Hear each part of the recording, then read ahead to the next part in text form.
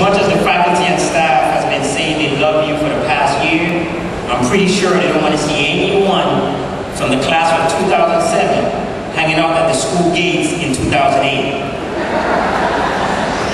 If you're anything like me for the past year, anytime your parents said something to get on your nerves, you were grumbling under your voice, I can't wait to get out of these people's house. Well, guess what? They can't wait too. When you heard them say, I'm very proud of you, what they were really saying was leave and don't come back.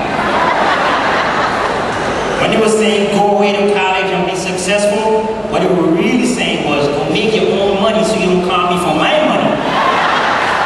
And don't come back.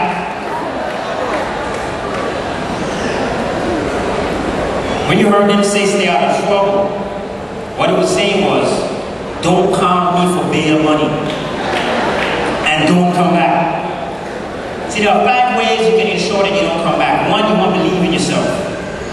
Just the other day, my 12-year-old son and my 6-year-old son had an argument over the word cuff. My 12-year-old was telling him that the word cuff is not a real word. He was saying that it's not in the Webster's dictionary. My 6-year-old was saying, but dad said to us all the time. He said, going to hit us with it. Eventually, they brought the argument to me. And they asked me, Dad, is a cuff a real word? I said, no, it's not in the dictionary. You can look at it as a slang. Typical 12-year-old looked at the 6-year-old and said, I told you so. 6-year-old then looked at him and said, it might not be a real word, but it's a real thing. You want to feel it? See, he believed in himself, and nothing could change what he was thinking and how he felt. Number two, you want to stay dedicated to your mission. Each one of you came in existence for a purpose. You have talents and skills that are embedded inside of you that you must use. And we don't use them you abort your mission. And whoever you're supposed to be blessing with that, those talents will not benefit from it. Three, you want to focus. F-O-C-U-S, which means follow on course until successful. You don't want to stop. You don't want to be distracted, disrupted, or interrupted. You want to focus and follow that one course until you're successful. Number four, you want to stay educated. As has been said, education replaces speculation.